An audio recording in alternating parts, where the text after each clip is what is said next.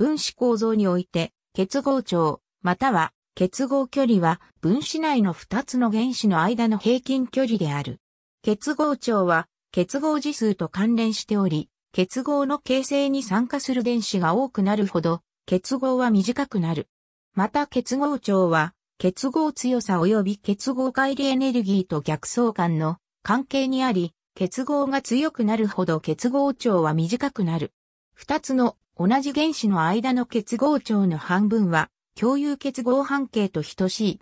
結合長は X 線解説を用いて片章で測定されるか、回転分光法を用いて基礎で見積もられる。結合を共有する二つの原子の組は分子ごとに異なる。例えば、メタン中の炭素水素結合の長さは、クロロメタン中の長さとは異なる。しかし、全体構造が同じ場合は、一般化することが可能である。下表は、実験的に求めた炭素と他の元素の間の単結合の長さである。単位は PM である。二つの異なる原子の間の結合長は、それぞれの共有結合半径の和で近似できる。一般的な傾向として、結合長は、周期表の周期が大きくなるほど、長くなり、属が大きくなるほど、短くなる。この傾向は、原子半径と同じである。分子中の二つの原子の間の実際の結合長は、混成軌道や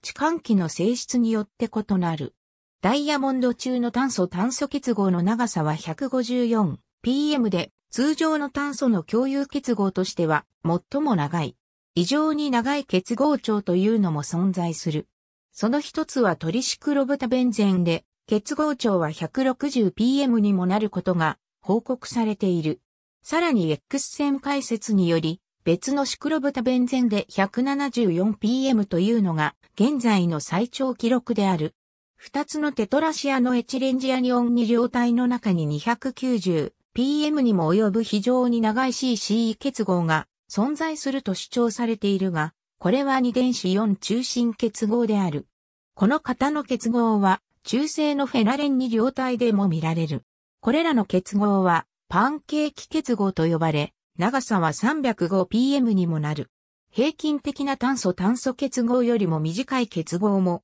見られ、アルケンやアルキンでは、シグマ結合の S 軌道成分が増えるため、結合長は、それぞれ 133pm、120pm となる。ベンゼンでは、すべての結合が同じ結合長を持ち、139pm である。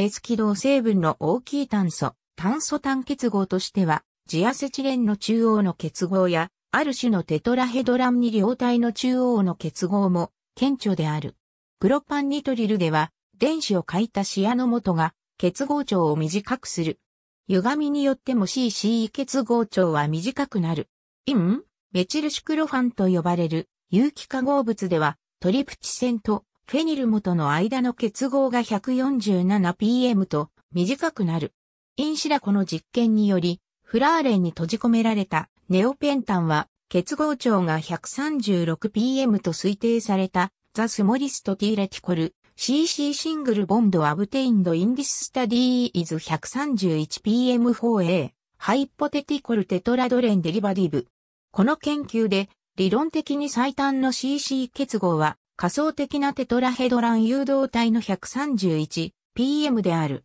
同じ研究でエタンの CC 結合を 5pm 伸縮するのにそれぞれ2.8、3.5kJ マイモルのエネルギーが必要であると推定された。また、同じ結合を 15pm 伸縮するには、それぞれ21.9、37.7kJ マイモル必要であると推定された。ありがとうございます。